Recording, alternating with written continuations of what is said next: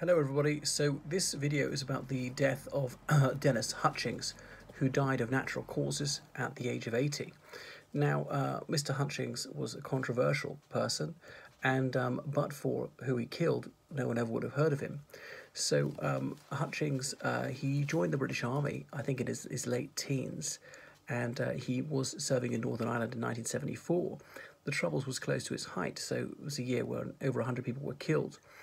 Um, anyway, he was um, on patrol in the countryside, and there was um, a 27 um, year old man from that area, John Patrick Cunningham, who um, was um, had learning difficulties, and he was afraid of men in uniforms. Well, perhaps not surprisingly, because people people were getting killed. Sometimes members of the IRA, sometimes civilians uh, by the by the British Army, and apart from killing people, the army would sometimes aggressively question people, could seem quite menacing. So they were there on a peacekeeping mission, came seemed to be like a, a combat mission to some people. Now, um, Mr. Hutchings's uh, defenders would say that they came under fire almost every day on patrol um, back then. Anyway, so um, John Patrick Cunningham, he ran away from the soldiers, and the soldiers were suspicious of this, is in the IRA or something like that. So Mr. Um, Cunningham was then shot dead. Three bullets struck him. Um, I think all of them fired by um, Dennis Hutchings. Certainly, they're all fired by um, British soldiers. Um, anyway, so this was contentious. Um, John Pat Cunningham was not armed at the time. I don't think he ever was armed. Was not a member of the IRA or INLA. Um, he was no threat to the patrol. He was running away from them, not towards them. So soldiers are entitled to kill people under certain circumstances. Um, uh, in a combat situation, but this wasn't a combat situation. And in, in, the Northern Ireland conflict, the British Army were allowed to open fire if they had reason to believe that their lives or anyone else's lives were in danger or at risk of serious injury.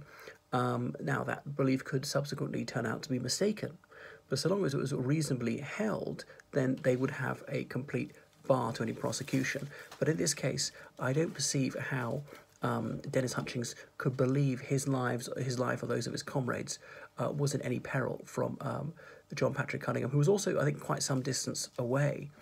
Um, anyway, so Mr. Um, Hutchings was uh, charged with murder, and he was in Northern Ireland to stand trial in Belfast for this.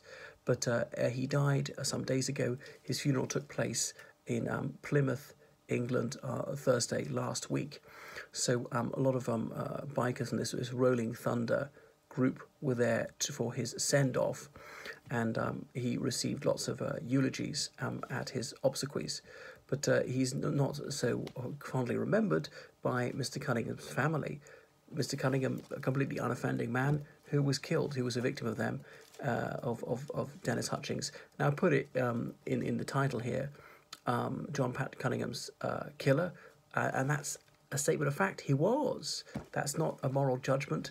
Um, um, some people might argue it was justified or excusable or something like that, but there's there's there's no doubt that um, Mr. Hutchings um, killed uh, John Pat Cunningham. Was it a tragic mistake? And obviously, he had to face a situation that uh, most people have to face. I don't. Um, but you know, he volunteered for it. I mean, I, I, have never been a soldier, never would want to be, partly be faced with these situations. Um, so anyway, so former British Army personnel said, "Oh, it's a disgrace that he was ever charged and things like that." Now, I don't think anyone should be charged um, with relation in relation to anything that happened before the Good Friday Agreement in that Northern Ireland conflict, no matter which organisation they're a member of, and then that's equal. That's puts a, a line in the sand and we let bygones be bygones and nobody be charged and no more investigations. People say we want closure for our family. Well, investigations, prosecutions, they actually don't exist for therapeutic reasons. They exist to um, uh, achieve justice, but I know they all say no justice, no peace. It's kind of the other way around. You get peace by having less justice, by agreeing not to go after people. And if you, you believe your side has got justice on its side, that not getting everything you want, having to let the other side have some what they want, even when you regard that as being um, unjust. So um, uh, his uh, uh, respectful and glorious send off will probably be um, salt in the wounds for the uh, Cunningham family. Um, so there are those who say uh, we support soldier A, B, C, right down to soldier Z, and I can't agree with that because some soldiers uh, did things which were really reprehensible. Um, and killing their foes in combat is one thing, but um, killing civilians, if you do it willfully, knowing them to be civilians, not believing them to be any threat, well, that's murder. So that you can't have carte blanche and just say anything is permissible, no matter whose side you're on, if you're a nationalist or a unionist or whatever. Or there are even IRA supporters who say, well, some of the things the IRA did were unacceptable just because um, they're on your side, you think it's in furtherance of your cause. You've got to have some sort of um, uh, moral bottom line. And I know there was a better side to Mr. Hutchings, who was said to be a fantastic family man, and that may well very well be true.